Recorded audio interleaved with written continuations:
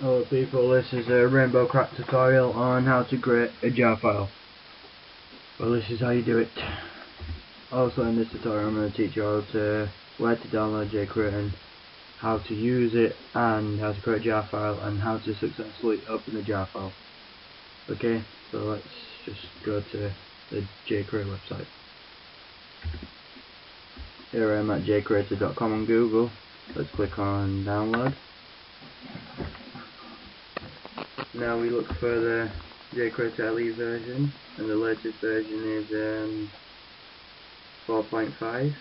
We don't want the Pro version because it you have to pay for it, and it's you get the trial, so you can download it. But anyway, this is the one what you want to get. This one here.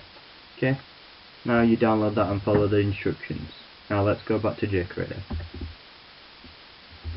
So once you've successfully downloaded jCreator LE, you open it up Here's the splash screen. You get the tip of the day, close it, unless you want to read it.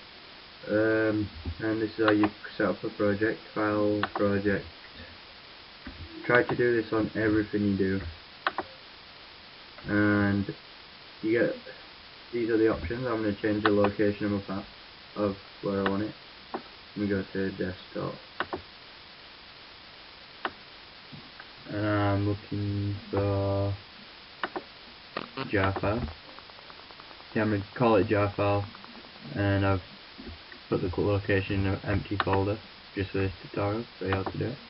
Next, finish, wait for it to load, finish button will come up and now you left click on, now you'll get the workspace and the project called jar file. Left click, right click, add new class, I'd always add the class and you always call the class the same thing that you call the project. Uh, we're going to call it jar file. And they give you the choice of making it public or something. That just changes the code. So we're going to click finish. And here we are. Well, how do you create a jar file in here? Because now we've created it, we'll go to my location. What do you get in it? Well, you only get this. This is it creates a jar source file, it creates a jar project, but no jar file. What is the point? So what you do is, you go to configure, options, you go to tools, on tools, this would be empty, so yours should look like this. You go, you click on new right here, you go and create jar file, create jar file come, will come up right there. Press OK, and now when you go into tools, you have a create jar file tool shortcut key control one. Now we're going to create um, public static void main um, main string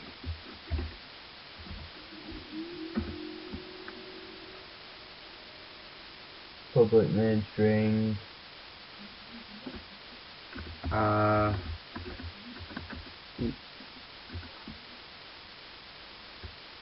Okay, this is, you're probably thinking, oh, whoa, what does all that mean?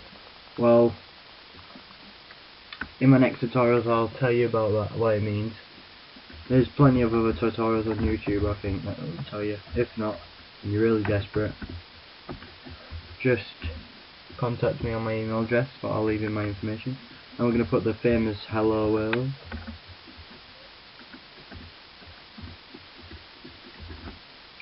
and we'll put semicolon to finish it. You're probably thinking, what does this system out.println mean? As I said, if you're desperate, ask me, because I do actually know, but don't want to waste time in this tutorial. Now I'm going to go to build, build a project, and process complete. Now we'll go to run, run the project, and it should say process complete, and now it says hello world. That's fine. Now let's go to, now let's create the jar file. Go straight to desktop. Um, here we go in our jar file. And here's the jar file here. It's a executable jar file. Wow. Let's click on it. Hmm. You may have hooked. I haven't seen any other videos on YouTube telling you how to make this or but there I've seen some jars, but this is the message for which they don't let you know that comes up. You press OK. Let's just read that message. See, it says, uh, basically it says fail to load the manifest main class manifest file attribute from the location. Let's press OK.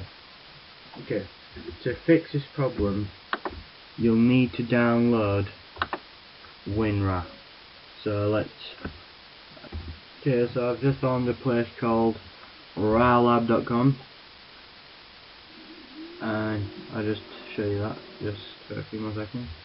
Okay, basically I just typed in Google WinRAR download, and then this came up and you click on WinRAR 3.8 on the download page and click now you click run I've already got this software so I won't need to do this.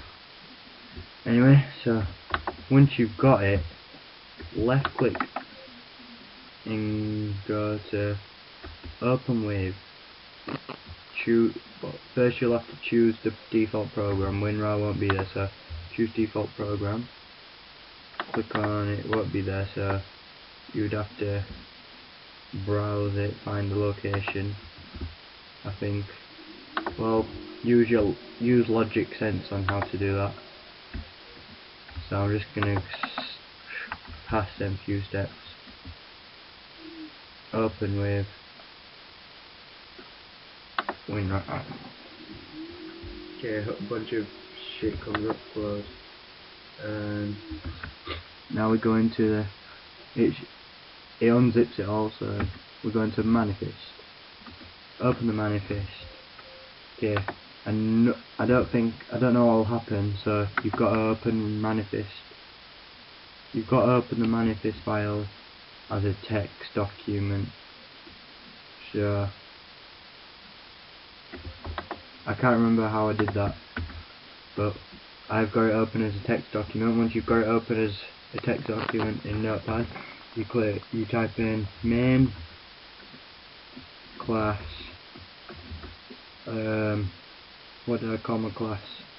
jar file. That's that's it really. I mean, press Control Save. Well, file save. Fine. Now we'll X off that. Now it's a file manifest Jewish, yes. We freaking do, yes. Now let's off this son of a... And now, here we are back on here, let's give it another go. Clicked on it. Yes, that was successful. No errors. I'll just show you again. I clicked on open. And because it's just a hello world, it's not going to open up. So well that's my tutorial so whenever you make but if you did actually make one a jar file anyway works so always update the manifest file and um, thanks for watching I should have some more I'll have some more tutorials on YouTube soon about loops or anything just leave a comment and thanks for watching I'll go in full detail with high quality. Start watching more. okay, goodbye.